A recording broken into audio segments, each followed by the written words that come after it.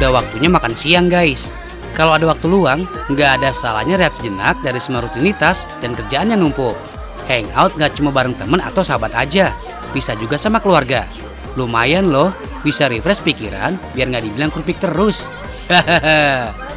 Kalau hangout bareng keluarga sih, biar lebih bonding gitu guys. Apalagi kalau tempatnya nyaman, dengan menu andalan yang jadi incaran. Ah, lengkap deh. Perut risi, rindu juga terobati. Kan ada kamu. Ah, kamu.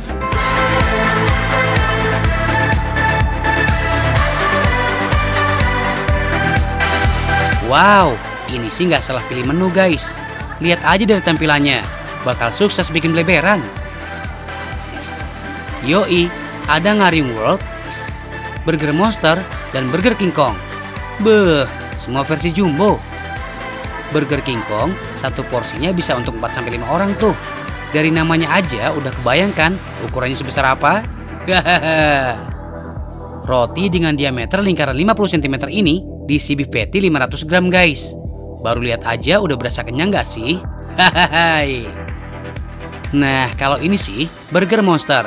Lebih kecil sih, tapi lebih tinggi tuh. Sampai 30 cm guys.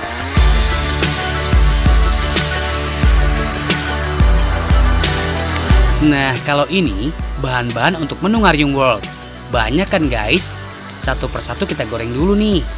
Wajan penggorengan itu ada beberapa jenisnya guys. Semuanya tergantung kegunaan. Jadi sebaiknya menggunakan wajan yang berbeda ketika memasak. Karena bentuk dan materialnya juga berbeda guys. Seperti fry pan yang digunakan untuk memasak kali ini. Karena jumlahnya dimasak nggak terlalu banyak, ukuran diameternya kita pilih yang nggak terlalu besar. Bagian bawahnya datar dan pinggirannya melengkung.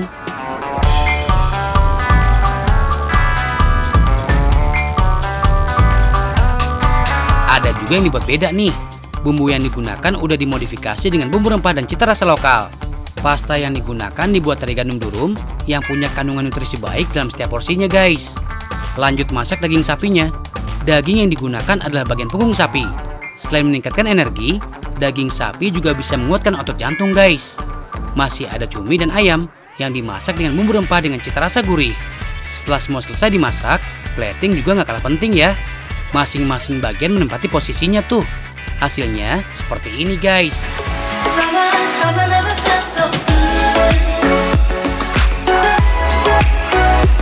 Kalau burger, inilah kelengkapannya guys. Roti, patty, telur, selada tomat, keju jangan ketinggalan. Yang jadi ciri khas hamburger adalah beef patty-nya guys. Daging sapi yang diproses dengan cara digiling. Tapi yang pasti, hampir semua negara punya variasi burger masing-masing. Ada ganti daging sapi pakai ikan, cumi, bahkan ayam.